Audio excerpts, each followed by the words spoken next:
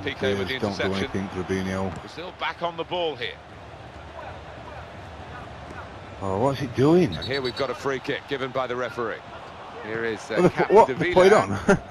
How can you play on from a free kick? Now it's back with Brazil.